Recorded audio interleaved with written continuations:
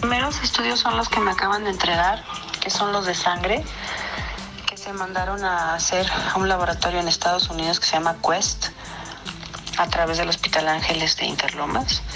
Ellos mandan la muestra a Estados Unidos y Estados Unidos la, pues digamos que procesa la, la muestra y apenas hoy ahorita me entregaron los resultados en sangre y pues es eso, todo negativo.